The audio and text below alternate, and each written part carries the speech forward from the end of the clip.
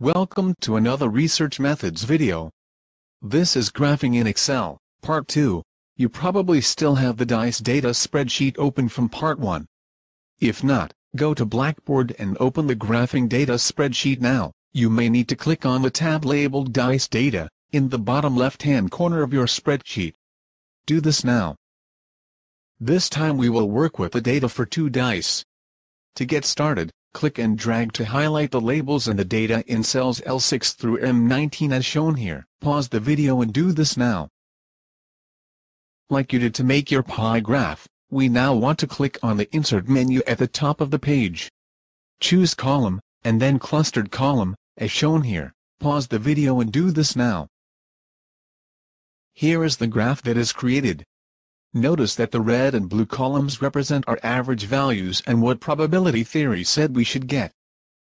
The reason that it was important to highlight the column labels was so that our legend would be correct. If you look at the values on the side axis you'll see these represent the number of times we got each possible value, and they are correct.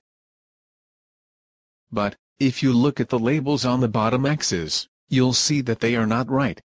Excel knows we have 11 different values, so it puts the numbers 1 through 11 here. We need to tell Excel where the correct values are located in our spreadsheet. So, we'll start by right-clicking in the graph window.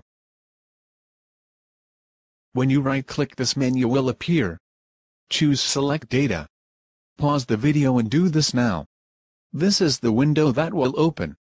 We want to edit the horizontal, category, labels, so click on the Edit button on the right-hand side of this window as shown here. Pause the video and do this now.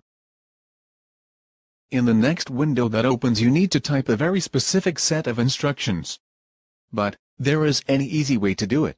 Click on the spreadsheet picture icon at the right-hand end of the Axis Label Range box, as shown here. Pause the video and do this now. Now, instead of typing in the cells, you can click and drag to highlight the possible two dice values. These are in cells K9 through K19. Pause the video now and highlight the cells in K9 through K19. The address for the correct label values has been added to the dialog box.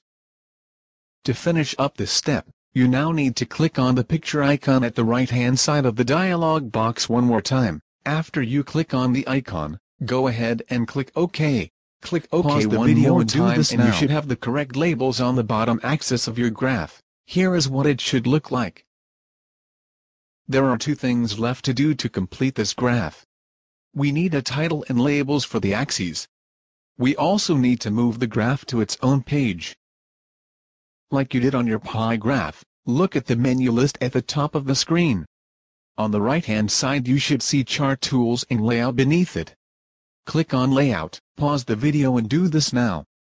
First, click on Chart Title, choose Above Chart, and then add a title with your name and two dice values as the title. Pause and do this now. Now, click on Axis Titles, choose Primary Horizontal Axis Title and then Title below Axis. This title will be two dice values. Pause the video and do this now.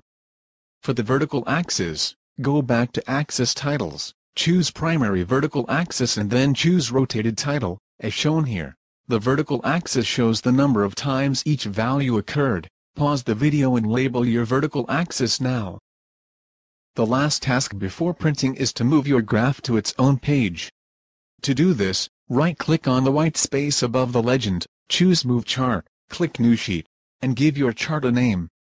Pause the video and do this now. Here is what your final graph should look like. Go ahead and print out a copy of this graph. This is the end of graphing in Excel. Congratulations! This program can do much more than what we've seen here, but this gives you an idea about how to get started. Goodbye.